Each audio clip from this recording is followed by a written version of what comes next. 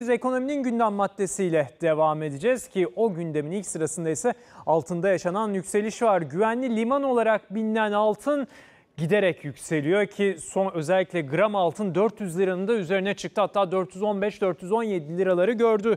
Peki bu yükseliş devam edecek mi? Altın için alım mı satım zamanı mı? Bu soruların yanıtını alalım. Ee, Altın piyasası uzmanı Sayın İslam Memiş yayın konuğumuz. Sayın Memiş yayınımıza hoş geldiniz. Gökhan Bey yayınlar diliyorum. Teşekkür ediyorum. Efendim şimdi herkes bu sorunun yanıtını merak ediyor. Altında yükseliş daha ne kadar devam edecek? Evet. Muhtemelen Eylül-Ekim aylarına kadar devam edecek. Genişlemeci politikalar devam ediyor. Yani düşük faiz ortamı, e, hükümetlerin ve merkez bankaların vermiş olduğu teşvik ve desteklerle birlikte özellikle doların da e, bütün dünyada değer kaybediyor olması şu anda altın fiyatlarını olumlu yönde destekliyor. Yani e, siyasi gerginlikler de devam ediyor. Amerika Çin arasında devam eden jeopolitik riskleri zaman zaman artıran gerginlikler de devam ediyor. Altın fiyatlarını yüksel yükselişine neden olan faktörler şu anda piyasada halen sürmeye devam ediyor.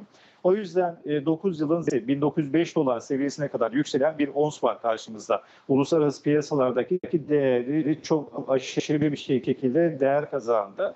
Bu değer artışları 2000 dolar seviyesine kadar devam edeceğini tahmin ediyoruz. Aslında bu seviyeler hedef olarak belirlenmişti ama ama çok çabucak bu, bu seviyeler hızlıca özellikle pandemi döneminde 1400 dolar seviyesinden başlayan yükseliş trendine 1905 dolar seviyesine kadar devam ettirdi. Tabii e, altının ons fiyatından almış olduğu destek ile gram altında Cumhuriyet tarihinin en yüksek seviyesini test etti. 420 lira seviyesine kadar yükseldi.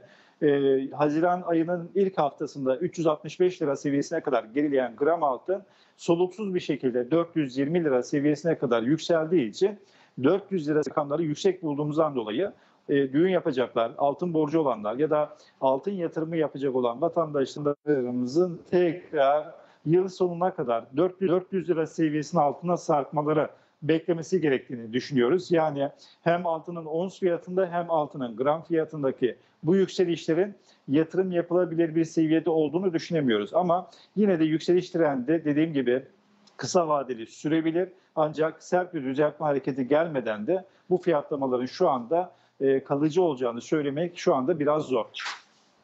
Para ve altın piyasası uzmanı Sayın İslam Memiş çok teşekkür ederiz yayınımıza katıldığınız için kolaylıklar dileyim. Altında yaşanan o hızlı yükselişi konuştuk İslam Memiş'le birlikte. Şimdi